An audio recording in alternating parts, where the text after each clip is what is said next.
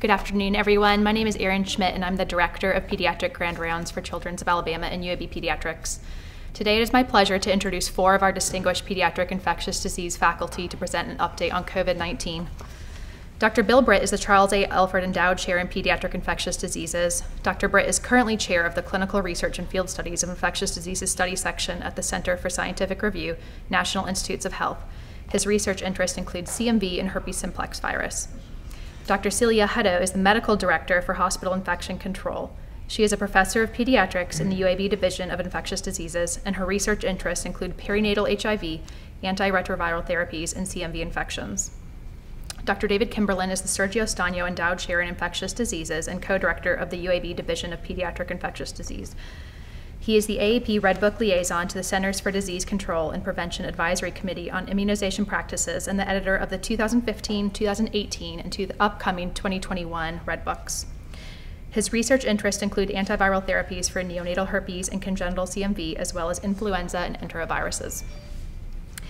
Finally, Dr. Rich Whitley is a distinguished Distinguished Professor of Pediatrics, Vice Chairman of the Department of Pediatrics, and Co-Division Director of Pediatric Infectious Diseases at the UAB School of Medicine.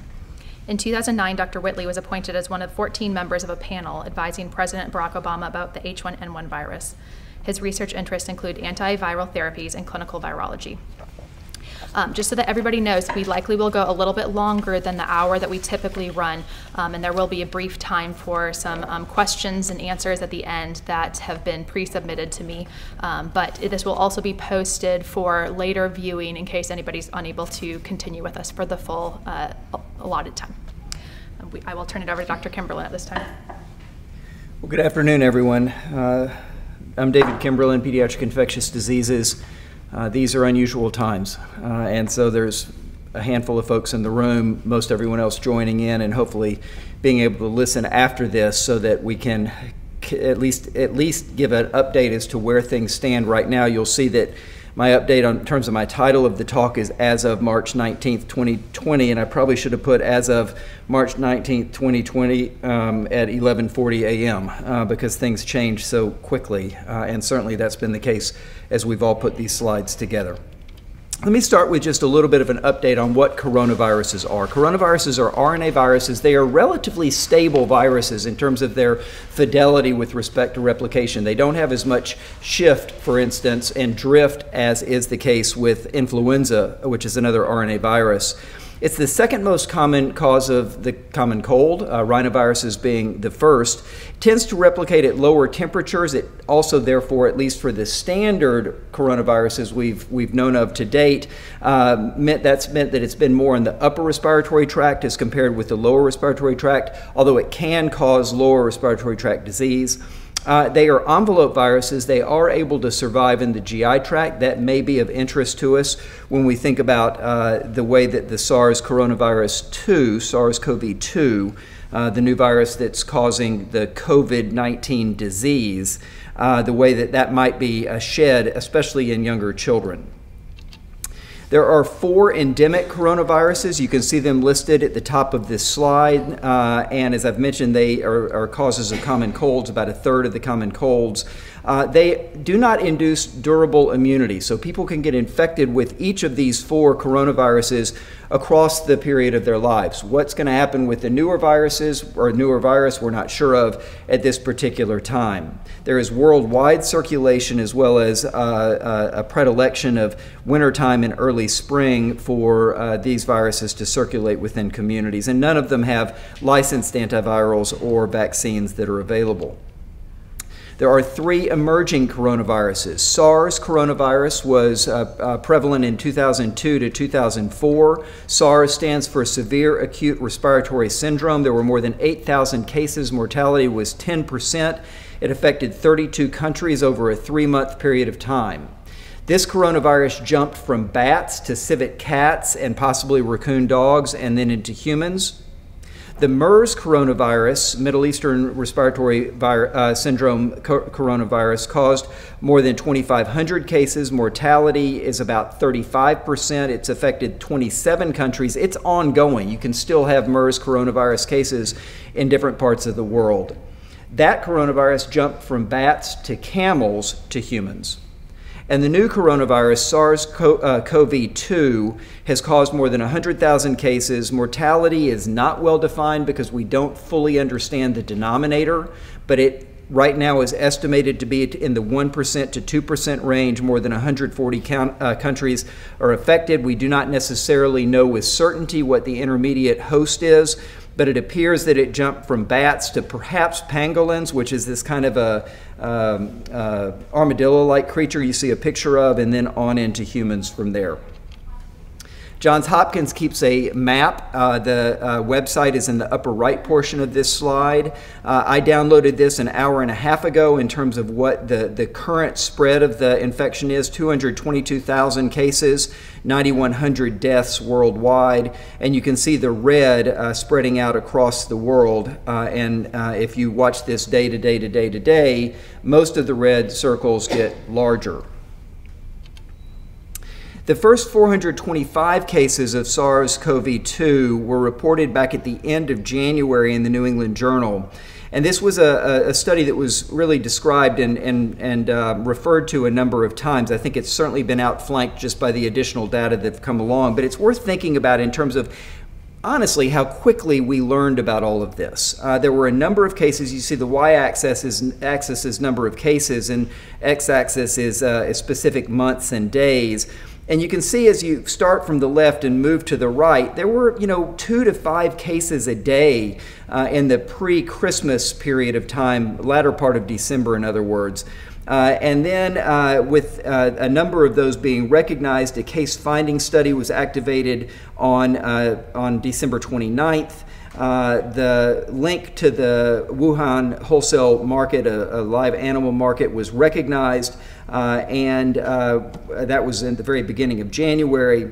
The CDC declared, that's the Chinese CDC, declared a level two emergency on January uh, 7th. On January 8th, the novel coronavirus, what we now calls, call SARS CoV 2, uh, was, uh, was um, uh, released to the public in terms of uh, an official announcement from the China CDC. And within two days, uh, the full sequence was shared with the world. This, this is remarkable. We've had a lot of, of challenges. We continue to have a lot of challenges with this current pandemic. But I do think we can take a moment and reflect on the rapidity with which this information was shared.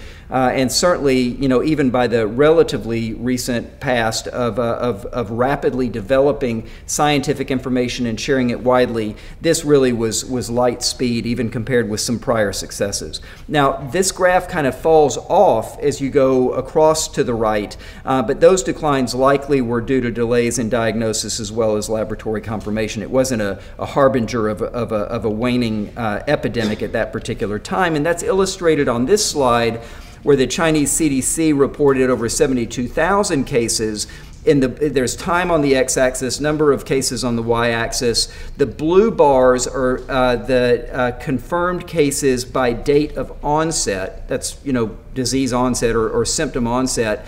And the kind of yellow uh, orange bars are confirmed cases by date of diagnosis. So what you see here, let focus just on the orange bars right now. Do you see how they, they rise up and they begin to peak right around, you know, early February, around the 5th, 6th, 7th, 8th of February, and then gradually start to come down until February 11th, which was the last day of this particular uh, uh, data set being reported. But that reflects the wave that came before, the blue lines that came before. So if I were to speculate where the United States is right now, I would say we're somewhere right in here. So we are seeing the, the diagnosed cases continue to peak. And all that really reflects as they continue to peak is the prior spread within the community that's been happening right now, not only in, in Alabama, but really across the United States and indeed across the world. The worst is yet to come, in other words. In terms of clinical symptoms, uh, these are, are data uh, from Lancet, and, and, these are really overwhelmingly adult data. I, I will have a few tables that will show uh, perhaps some differences with respect to pediatrics, uh, but the majority, 80, 90% will have, close to 100% will have fever, uh, cough between 50% to 80%, myalgias in a quarter to a half of, uh, of cases, shortness of breath in about a third, Less common symptoms, diarrhea and nausea and vomiting, although I will say in pediatrics, those are relatively more common compared with uh, being, what's being seen in the adult population. In terms of disease severity, again, this was a, really nice report mid February, the China CDC weekly report, which is similar to what our CDC publishes as well. About 80% of cases that were recognized at that time reported mild symptoms, about 15% severe symptoms, and about 5% critically ill. Now, the case fatality rate was higher among those people, primarily older adults, with comorbid conditions as compared with those with no comorbid conditions. Those same data looking by age are represented here. Uh, the first column shows uh, age ranges. I've highlighted in red or, or, had the font in red for those age ranges that are in the pediatric population, uh, and then on out to the 20s, 30s, 40s, 50s, and you can see all the way down. Uh, and you, you can tell just by the, the looking at it, uh, about 1% of all the cases as of February 11 in China that were confirmed were in the 0 through 9 age group, and about 1% in the 10 through 19 age group. This was along with the clinical impression of people taking care of these patients, this was really kind of our first understanding that this may not be as severe an illness in the pediatric population looking at these data in terms of mortality uh, and case fatality rates. Uh, for the 0 through 9, again, for this particular uh, report, no deaths, uh, and for the 10 through 19, one death. Uh, so case fatality rates that are you know markedly lower than what you see for the 70 to 79 year olds, where it's 8% according to these data, uh, and for the 80 year olds, an over 15% case fatality rate. Now, I, will caution again, we don't know the denominator, and I'm going to spend some time in a few minutes talking about what we do know about asymptomatic spread of this virus and, and people acquiring it and remaining asymptomatic the entire time of their infection. And so this is that as we know more about that over time, ultimately with seroepidemiologic studies, which will be quite a bit in the future, I think we may see these mortality rates go down simply because the number of deaths we know, but the number of total infected will go up as we see more of the asymptomatics. That's my speculation. Uh, this was a report published yesterday. You'll see, you'll see a number of uh, slides that were literally created in the last uh, uh 12 to 24 hours with data that are flowing out from around the world. These data are from the CDC. It's an MMWR report of hospitalizations, ICU admissions, and deaths. The time period in the United States is from February 12 through March 16.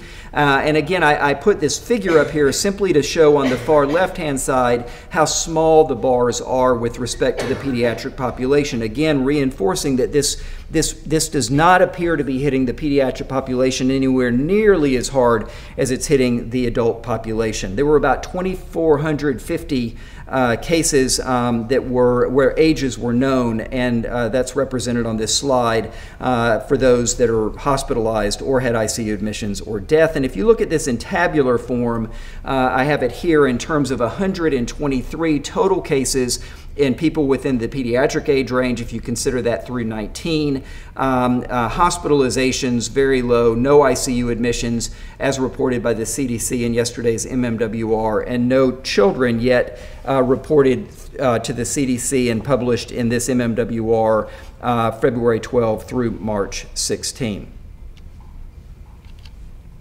What do we know about incubation time? We've heard a lot about uh, for people that are in self quarantine being there for 14 days. Where did that come from? Well, there's a number of different data sets that have looked at it. This was a New England Journal paper uh, that was published. It was one of the earlier ones. Uh, and what you can see on the y on the x-axis is days from infection to symptom onset. So the incubation period, if you will. And you can tell that it peaks somewhere in the three, four, five, six day period of time but it then tails off so that you still have a, a, few cases between 14 through 21 days following acquisition of the virus. But for the most part, if you're going to present, you're going to present within these first 14 days. I'm going to spend a moment talking about the reproductive number, or R naught. This is important. Uh, it's not just an epidemiologic thing or, or a disease outbreak uh, kind of a, a thing. It's something that helps us, all of us, think about what's likely to happen with this particular infection. So, what is R naught, or the reproduction reproductive number? The second bullet, I think, I think really it's a it's oversimplified, but it helps people like me that are not epi folks kind of think about this. On it's basically the average number of secondary cases generated by one primary case. So, in other words, if I'm infected, how many people am I likely to infect on average? And if you look at what we know about R naught for a number of different infections that we're all familiar with, the R naught for measles on the far right is 18. This is a highly infectious uh, viral pathogen, measles is. Uh, one person infecting on average 18 people with mumps, one infected person infecting 10 people. So when we think about R naught for, uh, for the SARS coronavirus 2, what do we know? Well, there's been a lot of estimates of what R naught is. This one I thought was most impressive to me because it was a calculation from a confined space in a certain period of time. We may all remember the Diamond Princess cruise ship. This was the cruise ship that was off the coast of Japan and had you know 3400 or so people on it a whole lot of people got infected and they were able to follow these folks and, and calculate what the r naught was and what they calculated was a 2.3 r naught that's about what other people are getting as well so somewhere between two and two and a half people uh, infected for every one person who was infected as a primary case. That's why this thing is expanding. That's why it is spreading we need to get an R naught less than one. That means one person infected at most will be infecting one other person, hopefully fewer than one other people over time. So, when we look at uh, the Diamond Princess and think about it in terms of a proportion that remained asymptomatic throughout, 3,700 passengers, 630 plus had confirmation of SARS coronavirus uh, 2 infection. Uh, they assumed a mean uh, in, uh, time between infection to onset of symptoms, so that period of, of incubation being 6.4 days. And they estimated the asymptomatic proportion, people that stayed asymptomatic for 14 days, um, uh, among all these people on the boat was about 18%. They then did sensitivity analyses where they adjusted that incubation period and they got ranges from about 20% to 40% of all people infected with this virus remaining asymptomatic throughout the time of their infection. So remember that, somewhere around 30% or so on average, 20% to 40%. I'm taking the middle of that. What else do we know? Well, there was a Japanese study of 565 nationals that were evacuated from Wuhan, China by plane. They tested them for SARS coronavirus uh, 2 and they followed them for 14 days. 12 tested positive by PCR. Five of those 12, or, or 42%, remained asymptomatic throughout that 14 day period. They then stopped following them. But if you estimate that one of those five subsequently went on to develop symptoms, then that takes the asymptomatic uh, rate down to about 33%. So, again, about 30% or so. And then there was a highly complex study released in Science. I my days are mixed up now, but I think it was either Monday or Tuesday that this came out. Uh, it took me two or three days to to read this and try to understand it as best I could. It uses spatiotemporal dynamics. Um, 375 Chinese cities were part of the model. Um, they looked at two different time periods, three actually, but I simplified it here. Uh, there, uh, the time period before widespread limitations on movement uh, were implemented and time after widespread, widespread limitations on movement were implemented. Prior to widespread movement limitations, the undocumented infection rate, so technically this could be the asymptomatic rate, but I like the way they, they phrased it of undocumented because they also might have had symptoms and everything was happening so fast they just simply weren't recognized as such. Uh, so during that period of time, they estimated 86% of, of, of uh, infections were undocumented, asymptomatic, in other words. This has gotten a lot of press, uh, in the lay press as well, over these last couple of days. I think that that really is, is a much less relevant number because it happened before people knew to be looking for it, or, or, right around the time people were learning that they needed to be looking for it. But the second sub bullet is an important one. These undocumented infections were 55% as contagious as documented infections. So they were about they were contagious still in other words. About half as contagious as documented, but they were contagious. And this R naught that we just talked about, which I think was 2.32 I believe from the Diamond Princess, by this mathematical modeling was 2.38 during that period.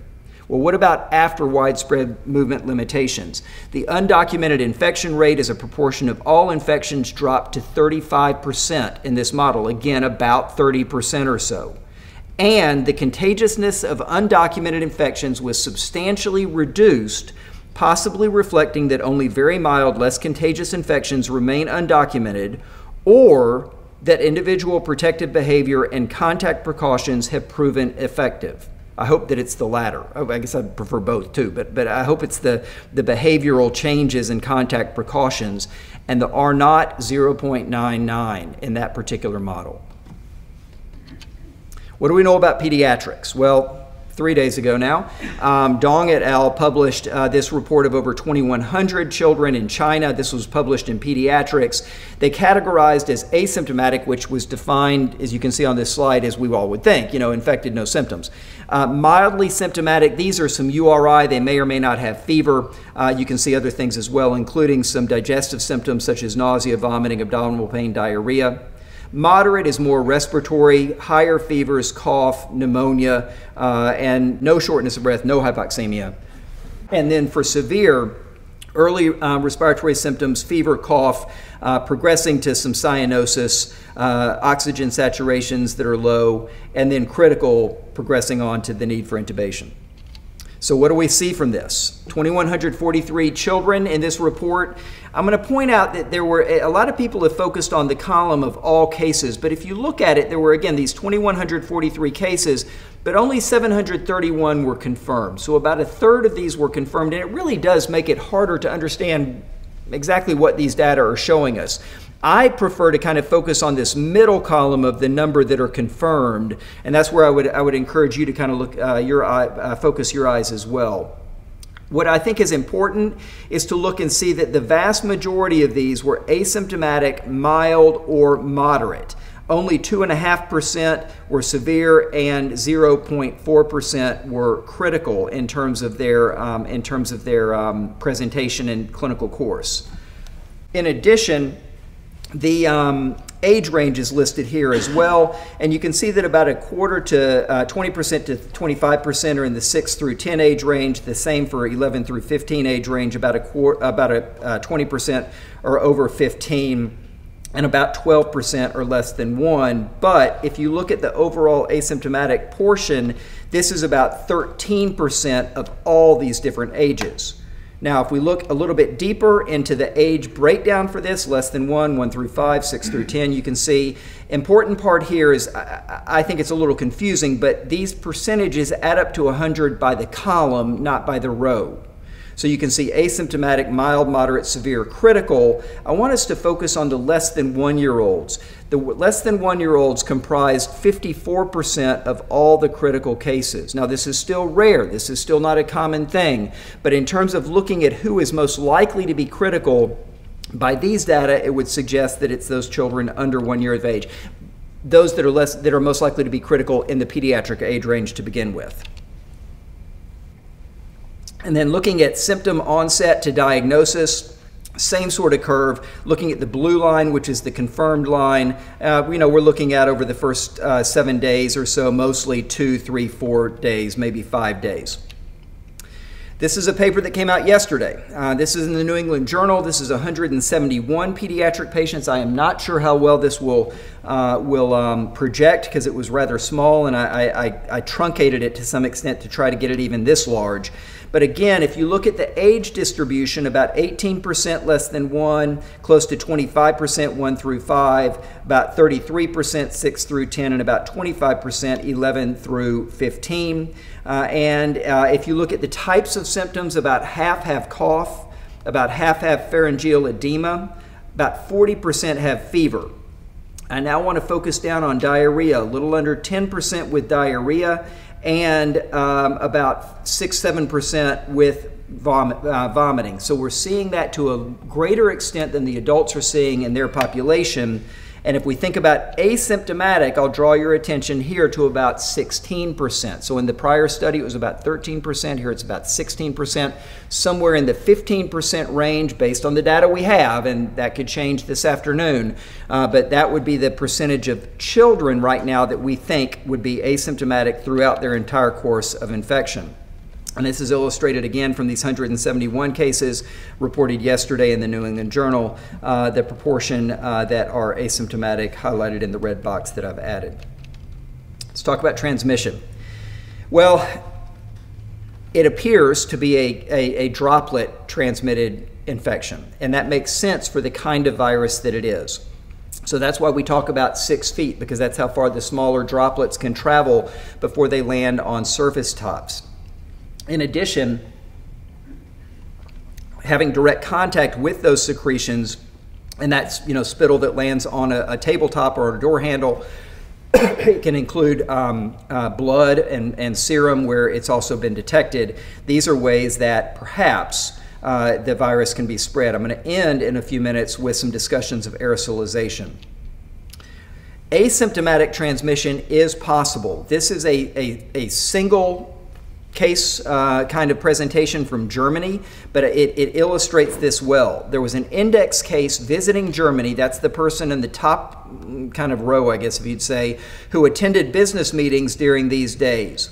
Patient number one and patient number two attended business meetings with this person. Subsequently, they tested positive and were symptomatic. Patient three and patient four had contact with patient one, but they did not have contact with the index case. They did not have contact um, with the business meeting or the environment of the business meeting and the time that they had contact with the uh, index, I'm sorry, with patient number one preceded the time that patient number one got symptomatic, and then patient three and four went on to develop symptoms. This can be spread from asymptomatically shedding people. Where is it shed?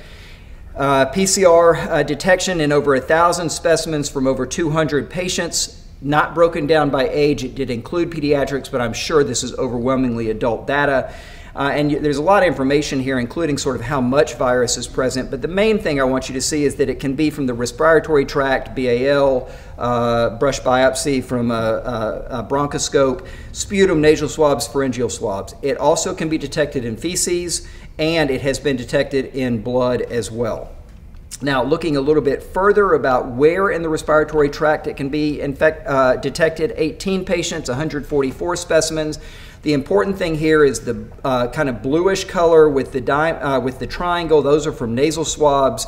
The grayish color with the circle is throat swab. You see higher amounts of the virus uh, from the Yes, because this the CT value is inverted here. Higher values from the nose uh, than from the throat, and that I think has led. Celia can tell us more, but I think that's led to the reason why the sites for testing has been have been modified. Sites in terms of where you where you get samples from.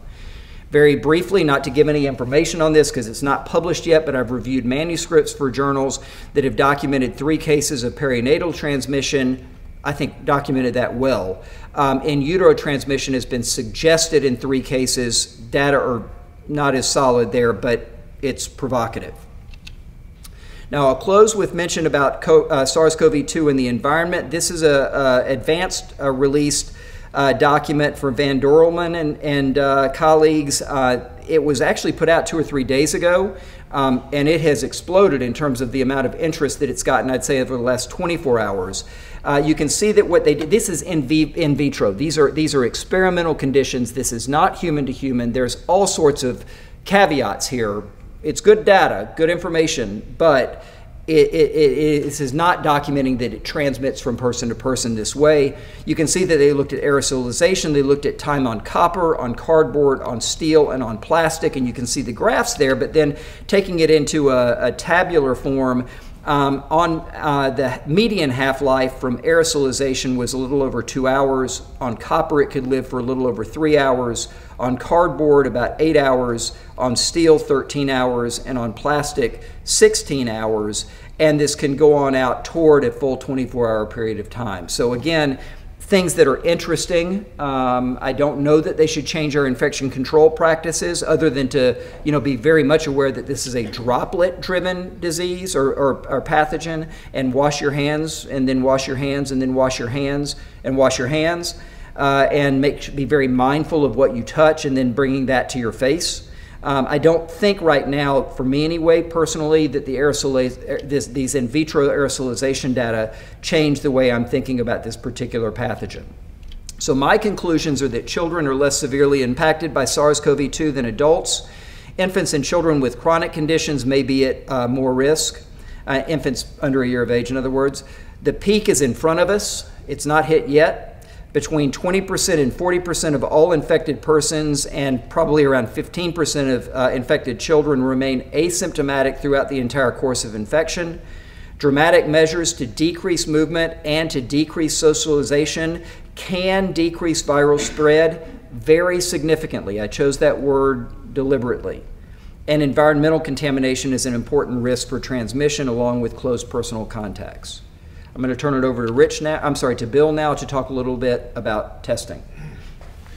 Uh, I'm Bill Britt uh, from the uh, Division of ID, and at the moment I'm directing the, the diagnostic lab and working with the pathologist at UAB uh, for our laboratory testing for SARS-CoV-2. Um, so just, just quickly for a review, this is methods, methodologies used to make diagnosis of virus infections. Classically, it's been virus isolation, which we actually still do for some of the coronaviruses and other respiratory viruses. There's standardized systems, quite simple, quite straightforward to do. this virus causes cytopathic effects, which makes it easy to follow in tissue culture.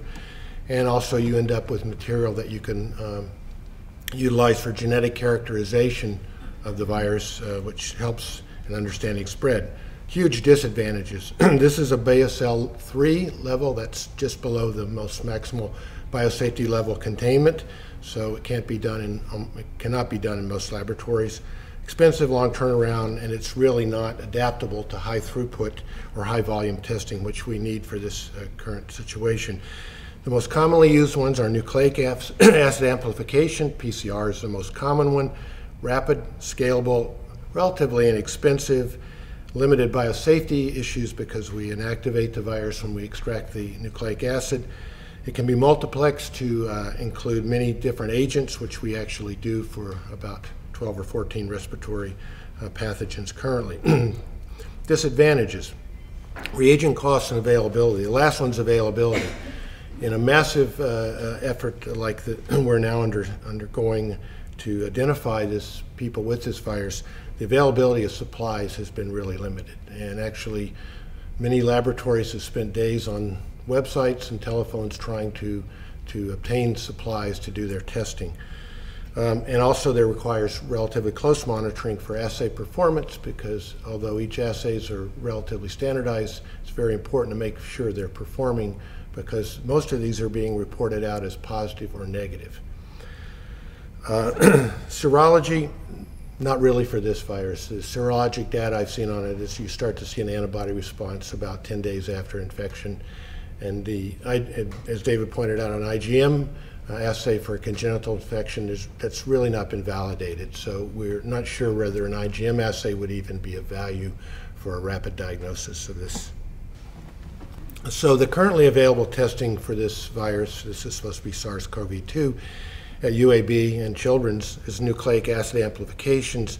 We currently are using an RT uh, reverse transcriptase. That is, this is an RNA virus. We have to turn it into DNA to test it um, in a GenMark assay that we use.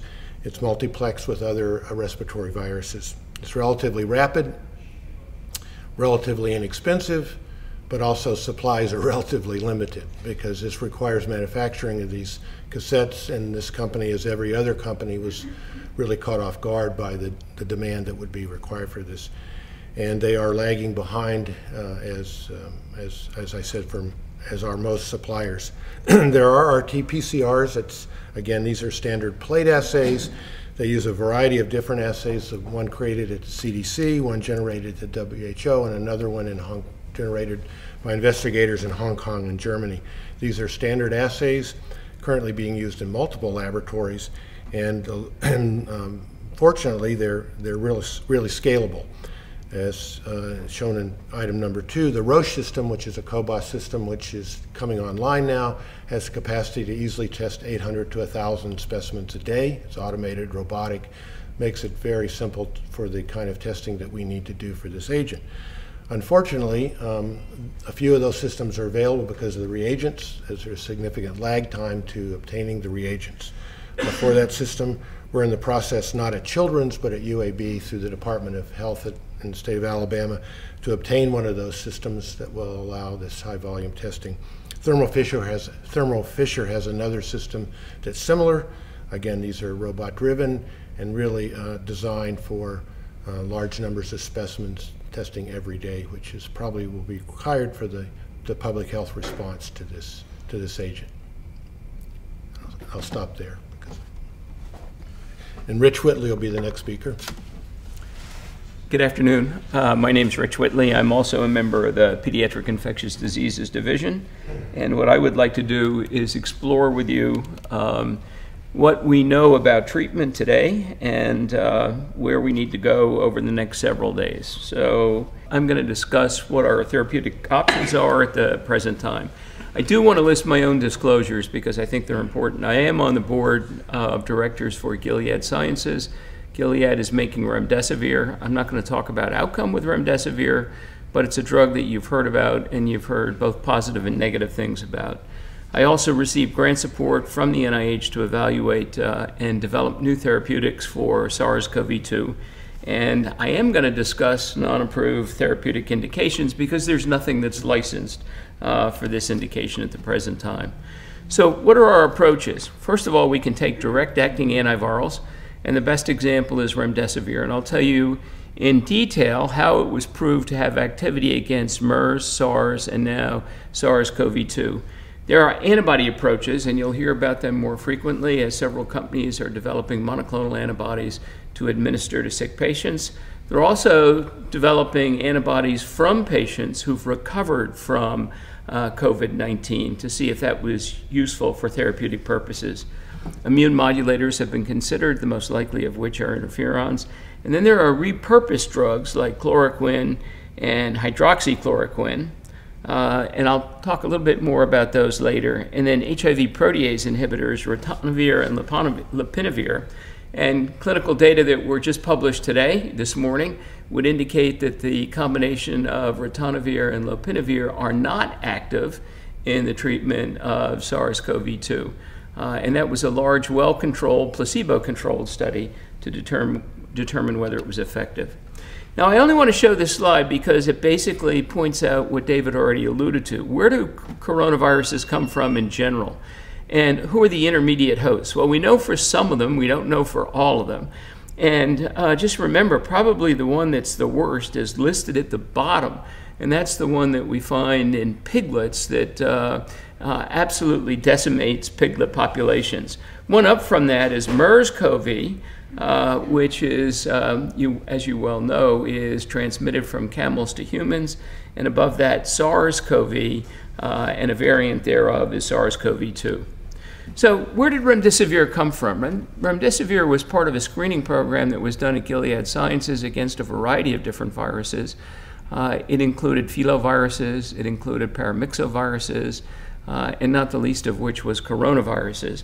And you probably read about it being studied in uh, Ebola in West Africa, where it was inferior to antibody pools or antibody cocktails that were developed by Regeneron and one other antibody company.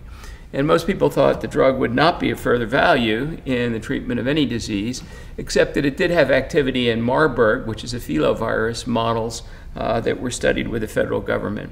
And it's a drug that, you know, potentially we could use to treat respiratory syncytial virus infections, but probably will not get there.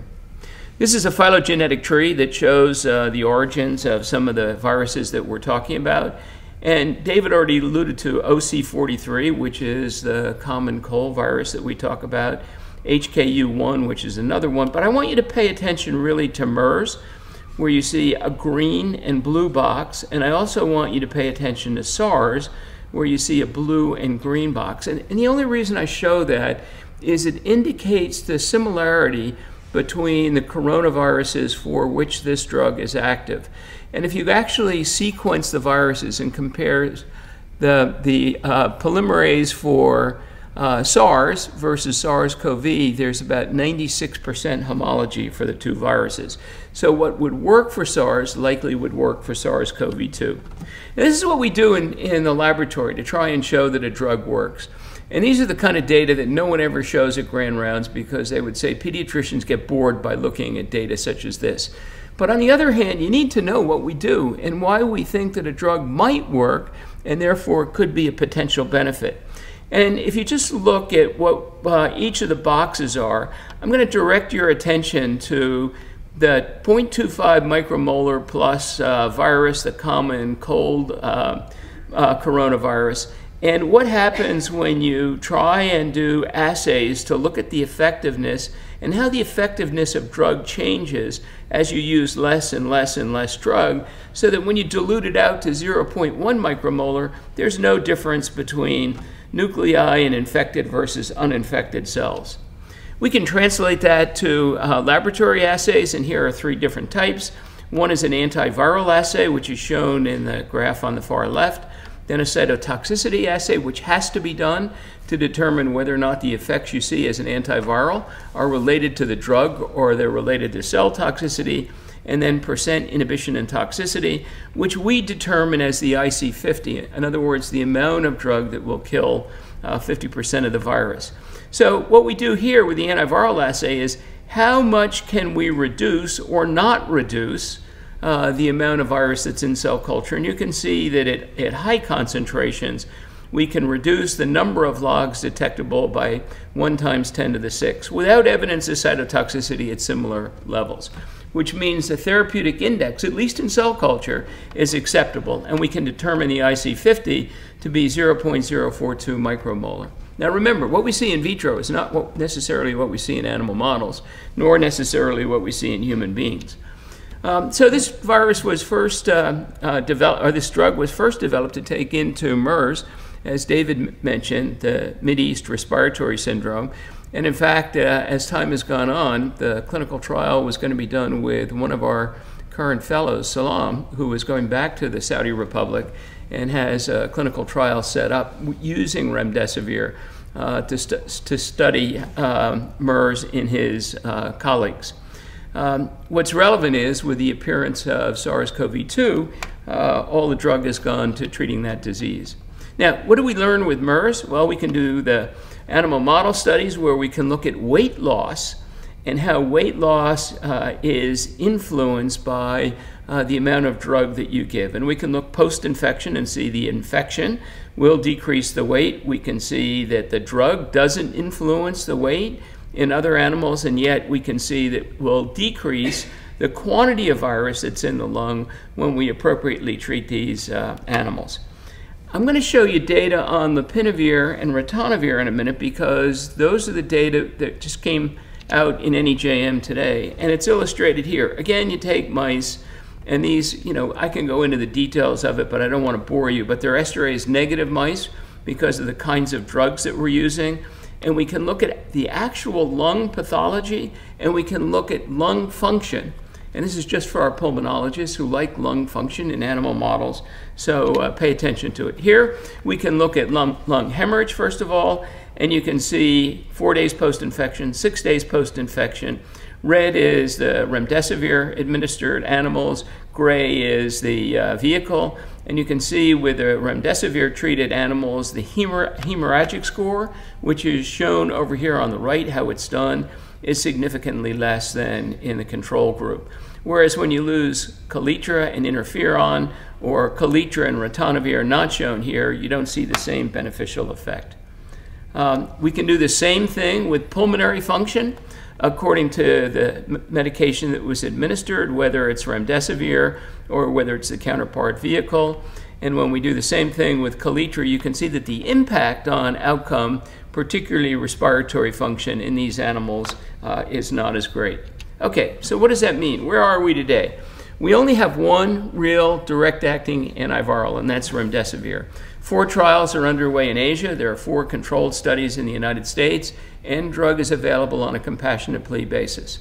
We should have a readout on some of these studies by the middle of April, toward the end of April with a drug that's known as EIDD 1931. Um, EIDD stands for the Emory Institute of Drug Discovery. That drug is pending uh, IND approval by the Food and Drug Administration now. Uh, additional toxicity studies had to be completed before it will go into clinical studies. Then there are repurposed drugs like HIV protease inhibitors, and I mentioned them, them to you. China and the United States have studies ongoing. The Chinese study was reported today. Forget them, don't use them. Um, there will be uh, opportunities to study better drugs as we move forward. Hydroxychloroquine, a malaria drug, is being studied in China and the US. However, we have very little data about the use of hydroxychloroquine to date. There is one small study out of France that's uncontrolled that suggested viral load was lower in those that received drug, but you can't make anything out of an uncontrolled study. Interferons will be evaluated, there's no two way, ways about it, and certainly antibodies from recovered patients as well as monoclonal antibodies will be going into clinical studies very shortly. One thing I want to discourage anyone from doing is using corticosteroids in these patients.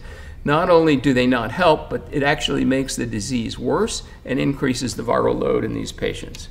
So, what's the current management? Supportive care. Uh, remember, diagnostics are reserved for the patients who are symptomatic, and then there are mandatory considerations, not voluntary considerations, but at least from the perspective of the people in the ID division, we would say mandatory considerations. Social, social distancing, avoid crowds. You know, most people would say avoid groups of 10 or more.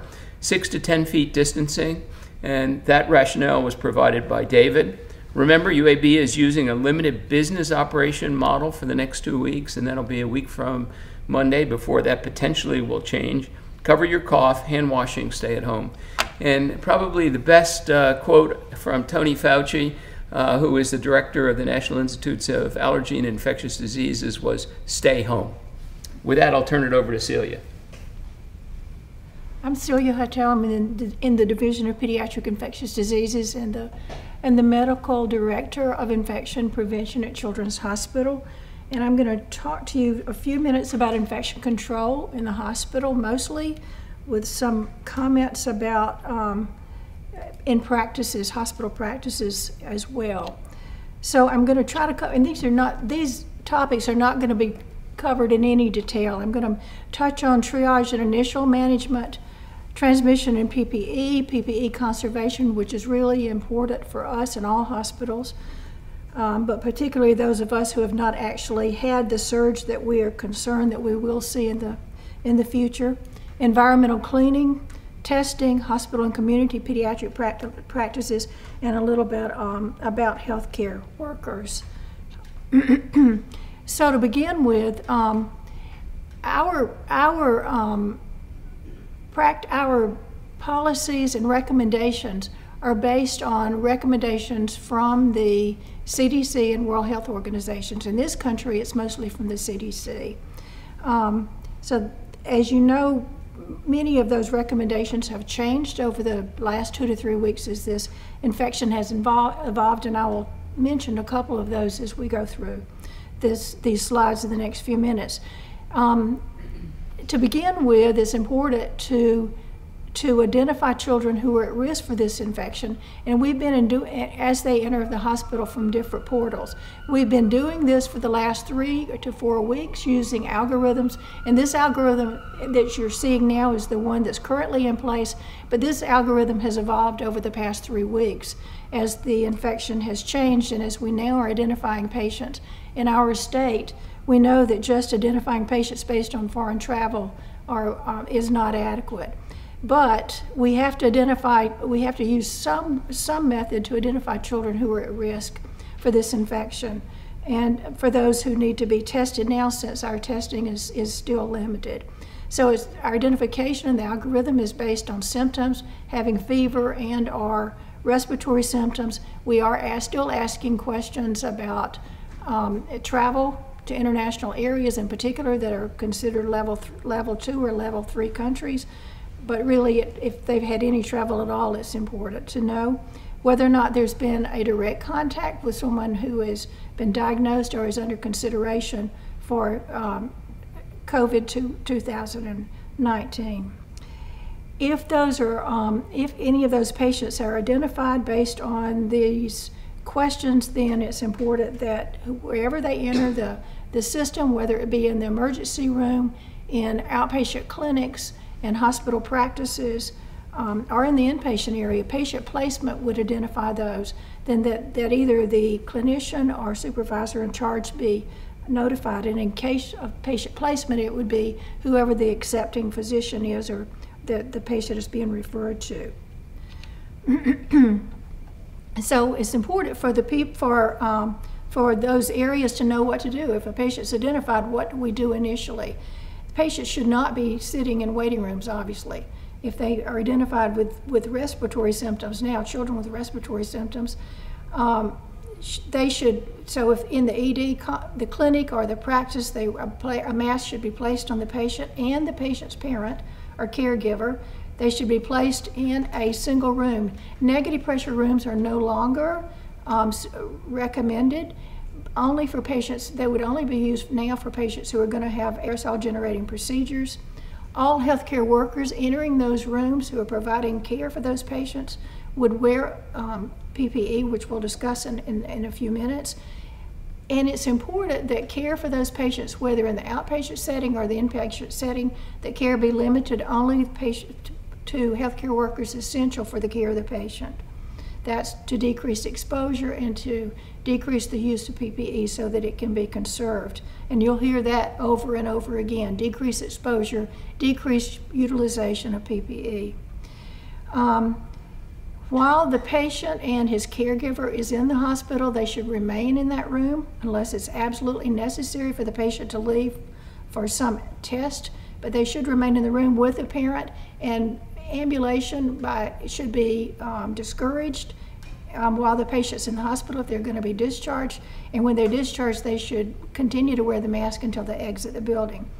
Patients in, admitted from the ED, if they're going to be admitted, they should also wear a mask until they get to the room where um, they will be admitted, along with a parent. If the patient is hospitalized, it's important that the, room, that the door to the room be kept closed at all times. Parents are also going to be um, need to remain in the room with the patient as long as the patient's admitted. Uh, meals will be provided for the patient and the parents and the parents, and they'll be delivered to the floor. And then the nurses, um, dietary will not go in these rooms again. Only essential personnel will will be allowed to go in the rooms, and dietary will deliver meals to for the patient and parents to the floor, and they will be then nursing or will take the meals into the families. There, the, there will be no no visitors to the hospital except in very specific exceptions, except for the parents or caregivers.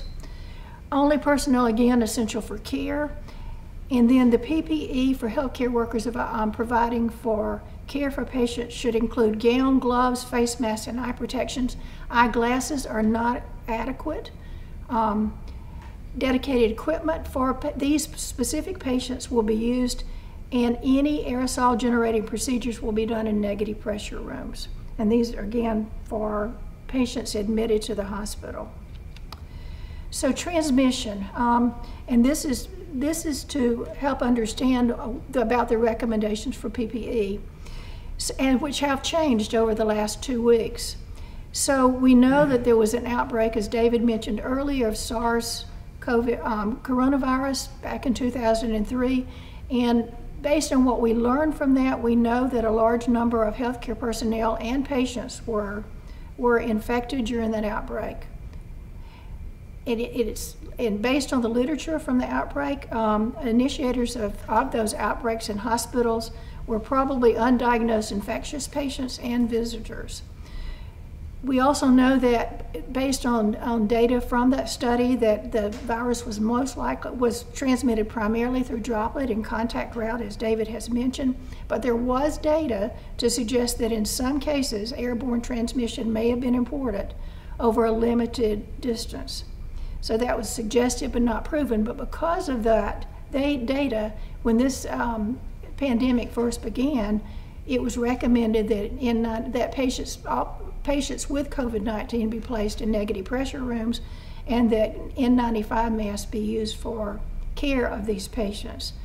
That has since changed for a number of reasons. One being uh, we've learned more about it, but mostly because of that we don't really have the resources that we need for right now, and that mean mostly being N95 masks to provide care to these patients. So it was based on the fact that there was some suggestion that airborne transmission was important, but it, since we don't have resources, we know there, that recommendation for N95 masks for the care of all patients is no longer recommended.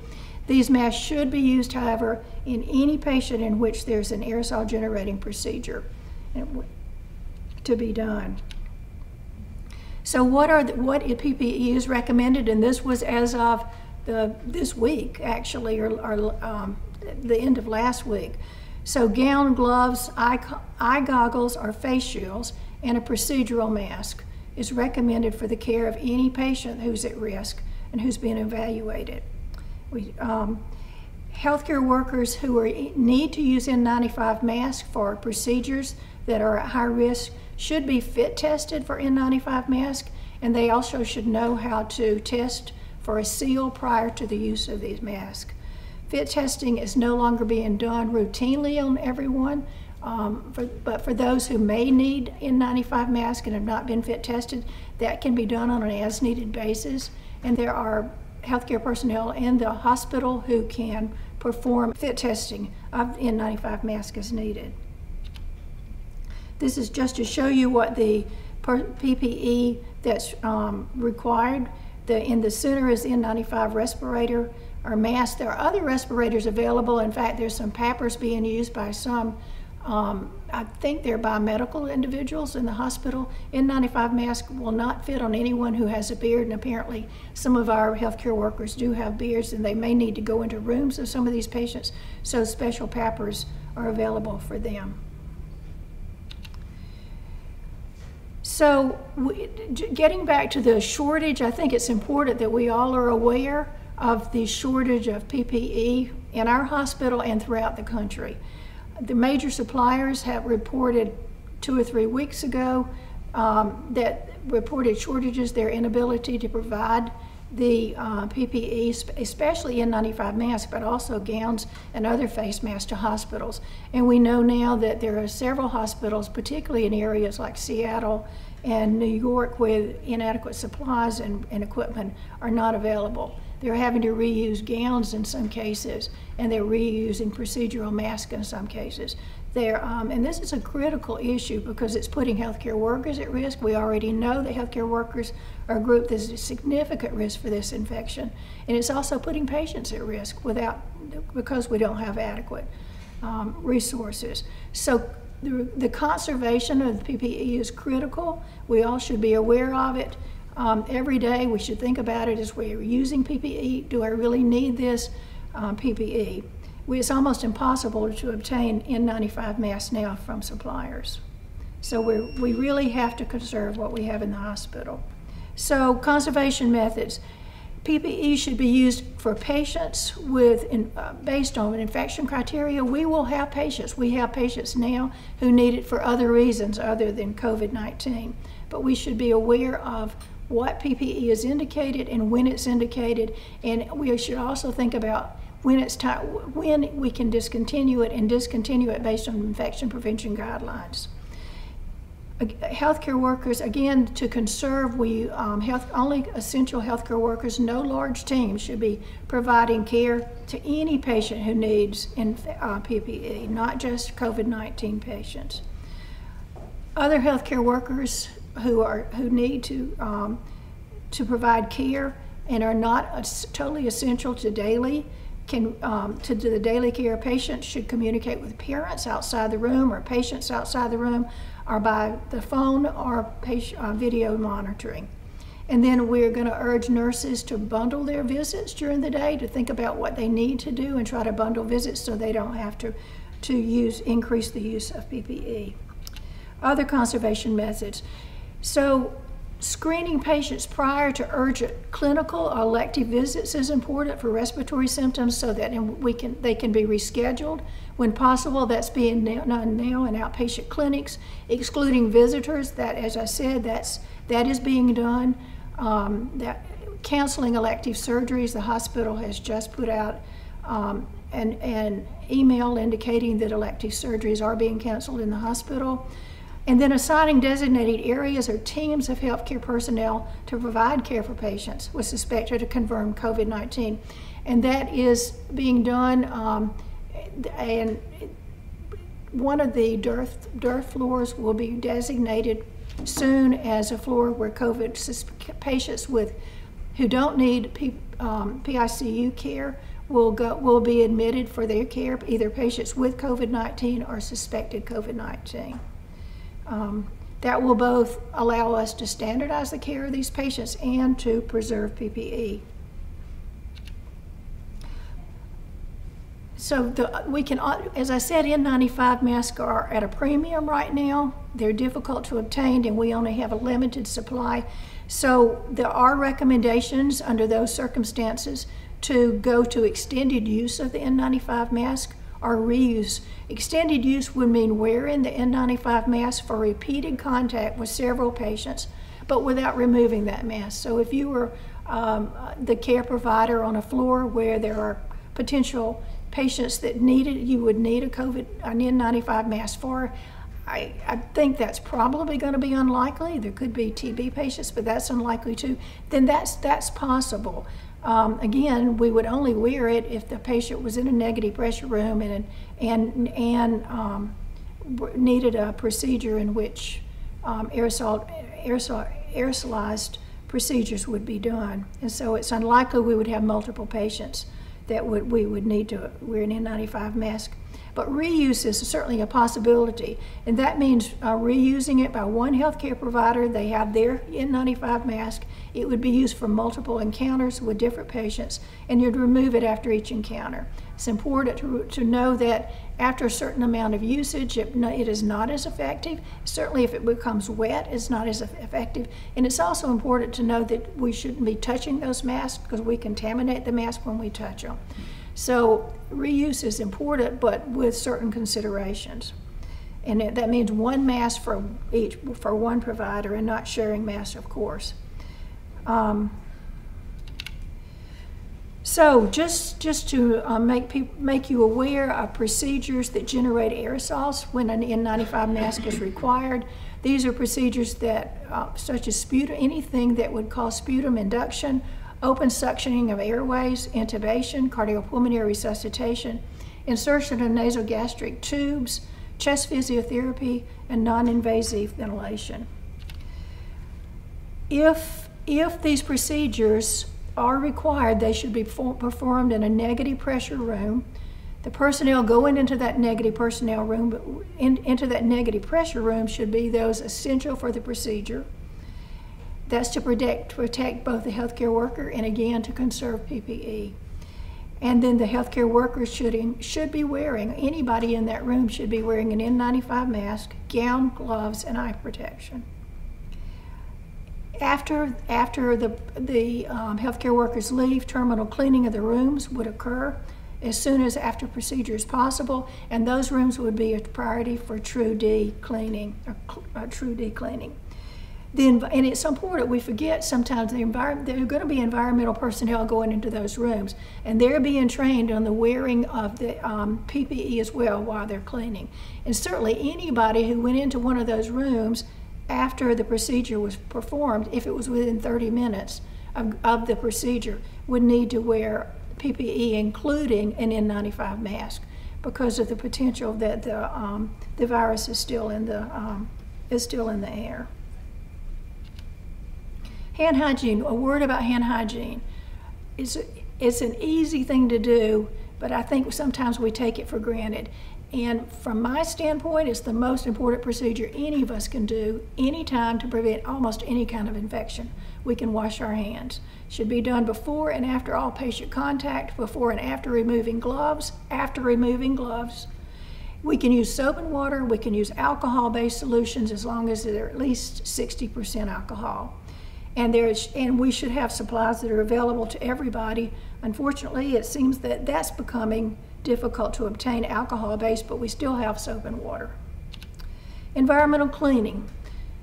Terminal cleaning of the rooms is going to be done at patient discharge. Um, Tru-D is going to be a priority for those rooms where we had patients who had COVID 19. And as I said, anyone entering the room within 30 minutes after that patient discharge should be wearing PPE, including a mask and eye protection. And our environmental um, personnel are being trained and told and, um, that that should be the case.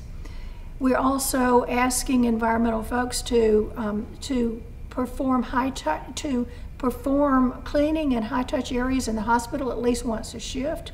You'll see, you should see them cleaning elevator buttons, hand railings, doorknobs, and public restrooms. Those would be um, cleaned at least twice during the day, the public restrooms. Other infection control issues, um, so visitors, again, they're not going to be allowed. There will be some circumstances depending uh, that in which visitors would be allowed. Um, those would be very specific, however. For COVID-19 patients, again, parents are going to remain in the room with the child when they're hospitalized. We are limiting appointments, outpatient appointments, to those who require visits. Others are being rescheduled. The parents and the patients requiring appointments if they have respiratory symptoms are gonna, um, we're gonna screen them if they, prior for respiratory symptoms so we can be sure that they wear a mask after, as soon as they enter the hospital and they'll wear a mask until they're in a room with a door closed in a clinic, and then they'll wear the mask until they leave the hospital. And testing is also, I think, an important part of, of um, infection control. Not so much just for inpatient, for inpatients, but for the community.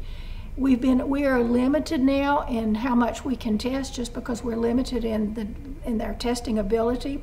But as soon as we have increased testing, I think it's important that we discuss this, but that most children coming into the hospital be tested. Test identifying children, even if they're asymptomatic, can allow uh, allow us to tell parents they need to be isolated for a certain period of time. It can also help help determine if there are family members who may be at risk in that home, and they can be isolated from those family members. We have to remember that some of many of the children that we care for are being cared for by older older um, grandparents or, or, or, individuals who are not their, their parents, and they certainly are, are a group who we know to be at high risk for significant disease. So testing children and getting those children isolated, making parents aware is important. So we have a diagnostic pathway that we're currently using for, for determining um, which children are going to be tested for COVID-19. This is, was adapted from um, a pathway, diagnostic pathway that was, was being used at, that is being used at University Hospital, and it's categorizing children according to risk, and, and also it's um, categorizing them by, by, risk. They're also determining the type of uh, PPE that is recommended, but just to focus on the diagnostic category. So we're we're recommending that any child who in the outpatient setting, at least in clinics are in the are in the ED have a initially if they have fever and and respiratory symptoms have a rapid flu obtained. If it's negative, then a viral respiratory panel, and that for some children who are going to be at high risk probably because of their underlying disease, and those would include children with chronic lung disease, children with chronic cardiac disease, probably children with who are immunosuppressed, and and um, children with diabetes some of those children would need to consider um, COVID-19 testing as well. If the rapid flu is positive, we can discontinue contact precautions and continue droplet precautions. If the respiratory panel is negative, then COVID-19 in those children who did not receive testing um, would be would be done in those at risk, and all of the, those children would continue on droplet and contact precautions. So this is um, community practices. It's important that we think about those. We have hospital practices. There are other community practices. So some, so I think it's important to provide some recommendations for those who, many of those patients are going to be coming to see us in the hospital. Some recommendations, and they, and they really are limited in their resources in terms of PPE and testing, really. Um, so scheduling patients, they could scheduling patients and accompanying parents should be triaged for respiratory symptoms and fever. Uh, the practice, practices could develop an algorithm for patients who could be managed at home, and most of these children can be managed at home. And in fact, it's to their advantage to be managed at home. and those who need to be seen, um, then uh, so they can distinguish between those that could be managed at home, those that need to come into the office, or those that need to be referred to the ED. It's important to separate, if they can, patients with respiratory symptoms from those without into different waiting rooms. Um, even to use different entries into the clinics or the, the practices if possible. To put, put, put masks on those children with respiratory symptoms in the waiting room, in the, in the practices, and as soon as possible um, after entering the practices if possible, to separate children with respiratory and symptoms from those well child and non-respiratory patients by seeing them either at a different time of day, maybe in the morning, and then seeing the children with respiratory symptoms in the evening or on different days of the week. And then healthcare workers in the clinics who certainly wear PPE if they have it available, and hopefully most of them will. And then one word about healthcare workers. Knowledge of infection control practices in the hospital and outpatient setting is essential for healthcare workers, including the use of PPE and the conservation of PCE, PPE. They should be, we should all be, encouraged to stay home if we're having respiratory symptoms and to notify our supervisor and to notify um, employee health. We should be aware of, of the recommended work restrictions and monitoring based on exposure to COVID 19 and there, and there are contingency plans for increased um, absenteeism because of ill employees or family members. And the last slide I'm going to show you is a website that you can access. There are a lot of resources being put. Um, this is the Department of Pediatrics website. It, we will update it. We will add resources available. There are a lot more details about, the, about providing care to these children and infection control for the hospital. Thank you. Thank you so much to everybody. I have a few questions that have been submitted from um, some of the Department of Pediatrics faculty members that, if you guys will allow me to, I'll kind of go through and um, get you guys to answer. Um, one of them, so there are some case series in pediatric patients coming out, one from China recently, that indicate co-infection may be fairly common, up to 40% in one series that was published. Using our algorithm, if the VRP is positive, we have the potential to miss patients with um, COVID. Is there any um, consideration of testing all of our patients with respiratory symptoms at some point as our testing um, capabilities expand? I, that, that is a great concern. I was informed today by somebody from UAB that a recent uh, report came out of Stanford that said up to 20% of the patients with SARS with COVID-19 actually have a are infected with other respiratory viruses. So it's uh, confusing at this point, and our algorithm is imperfect. Our algorithm is to test all, all uh, patients. Unfortunately, the availability of testing right now has uh, limited that, and we're trying to prioritize that so that we can test the, uh, the, the, um, the most likely patient to have this illness. On that note, several people have asked when we might have capability to test our patients at Children's internally. This will probably be you again, Dr. Britt. We have that capability, but the capability again is limited by reagents and supplies, and we're trying to expand that.